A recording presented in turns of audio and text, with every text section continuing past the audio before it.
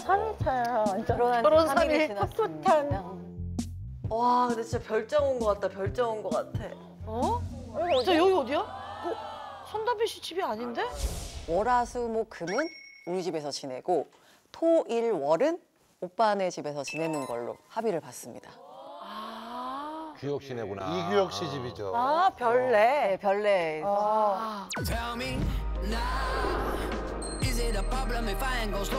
아 이규혁 씨 어떤 흔적이 곳곳에 남아 있네. 정말 메달이랑 그런 게 어. 너무 많더라고요.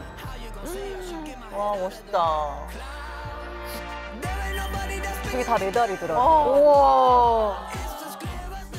어우, 그, 되게 아주 대단한 분이에요. 작품처럼. 해놓으셨네요. 아 운동기구부터 해서 어우 잘 해놨네. 이분도 저 정리정돈에 뛰어나죠. 규혁 씨도. 오빠도 좋아해요. 어 그러니까. 이거 뭐야 이거 뭐야? 키스 앤 크라이. 키스 앤 크라이 처음 만났을 때. 여기서 어. 처음 만났죠.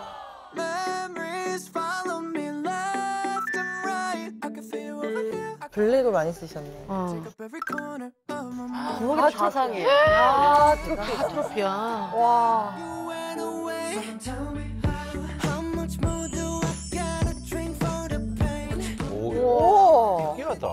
약간 약간 어디 주한 여행- 느낌이 나는데요. 여행 네? 온. 진짜 여행 온 느낌. 어. Oh oh oh. 아 이분도 깔끔해. 와. 아유 남자들이 더 깔끔해 이러고 보면.